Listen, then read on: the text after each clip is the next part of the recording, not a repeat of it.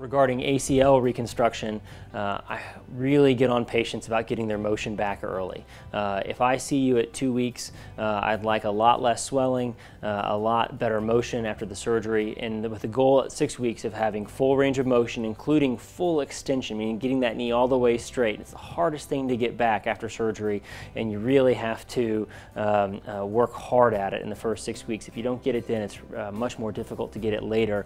And when you don't get that full extension, extension back after a knee surgery, uh, the quadriceps muscle, the thigh muscle in front, has to fire all the time uh, just standing around. And that makes your uh, knee have an ache in the front of it afterwards that we really uh, wouldn't be helpful and you wouldn't like uh, afterwards. So we really focus on getting that knee straight. So after an ACL or any ligament reconstruction with the goal of really full range of motion by six weeks afterwards, most of the time and no swelling, and you're gonna have a very weak thigh muscle uh, because we haven't been strengthening anything. And that's okay because we can get you strong again, but it's really hard to get your motion back if we don't get it back in the first six weeks.